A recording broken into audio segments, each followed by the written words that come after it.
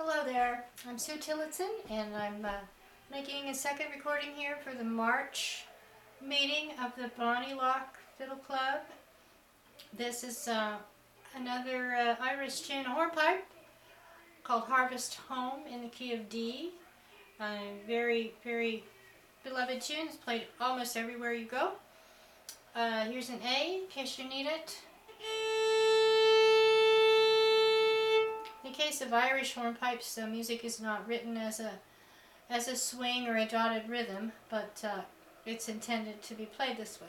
So I will I will give you a couple of tempos, a little bit moderate and then a little faster. One, two, three, four.